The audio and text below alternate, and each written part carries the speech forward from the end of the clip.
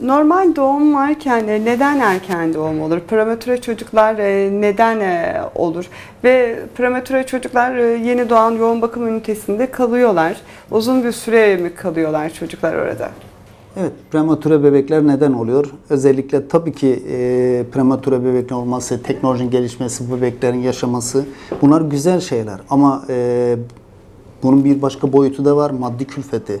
Yani şu an e, SGK, Sosyal Güvenlik Kurumu'nun tümünü karşılıyor. Gerçekten maliyetli. Yani bir survanta dediğimiz akciğerin olgunlaşması için verdiğiniz bebeğe bugün e, kuru sofraların 2000 lira yakın maliyeti var bir flakonunun.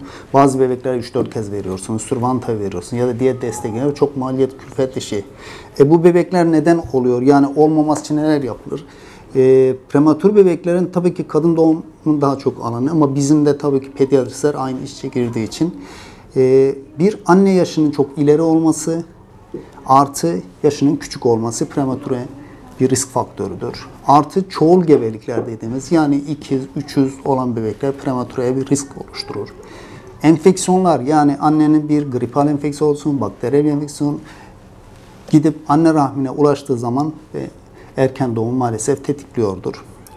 Beklenmeyen tabi olmayan travmalar yani anne ayak kaydı düştüğü şeyler bu tür şeyler zaman zaman e, yani Karşınıza çıkabiliyor.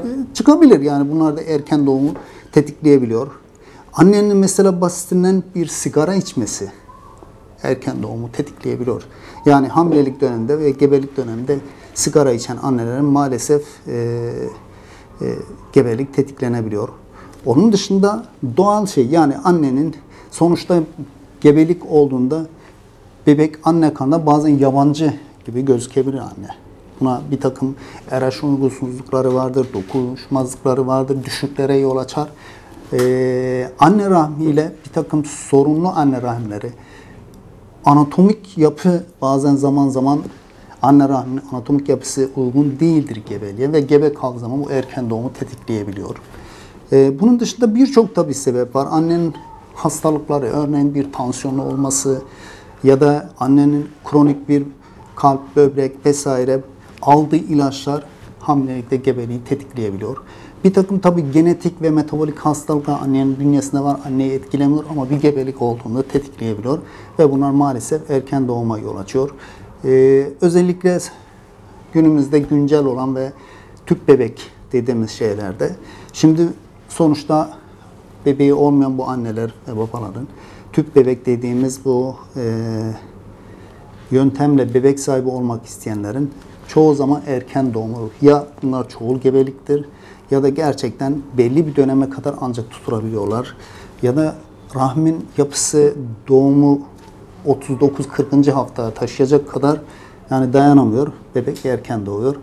Daha birçok sebep var. Bunlar belli başları ama maalesef bu bebekleri hani kadın doğumcular ellerinden geldiği kadar bebeği matüriteye bir hafta yani 30 haftalık riski olan bir bebeği 31'e taşımak için gayret gösterirler. Ama bazen elde olmayan nedenler erken doğar. O zaman yoğun bakım artık devreye giriyor ondan sonraki aşamada.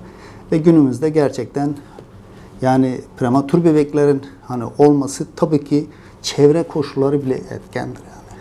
Sadece hani tıbbi şeyler değil, çevre koşulları bile bazen etkiliyor. İşte sigara dedik ama egzoz dumanı, çevre kirliliği bile erken doğumu tetikleyebiliyor.